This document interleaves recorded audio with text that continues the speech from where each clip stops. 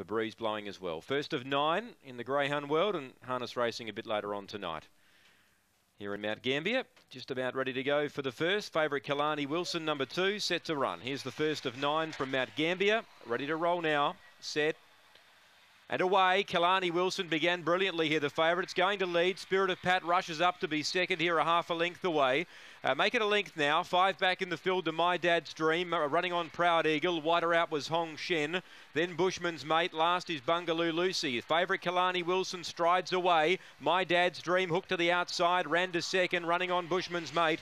But Kalani Wilson in a breeze. My Dad's Dream second. Third Bushman's Mate. Photo fourth. Spirit of Pat or Hong Shen.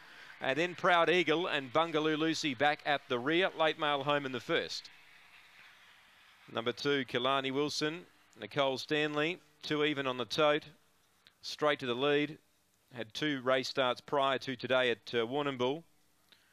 And straight to the lead has been too good.